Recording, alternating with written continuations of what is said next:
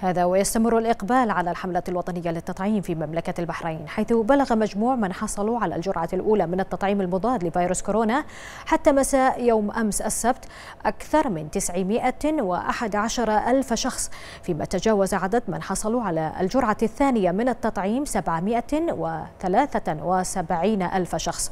ويؤكد الفريق الوطني الطبي إلى أن الأعداد الكبيرة للحالات القائمة والتي تتصاعد يوما بعد آخر تستوجب من كل شخص التزامه بالإجراءات الاحترازية وعدم التراخي في تطبيقها.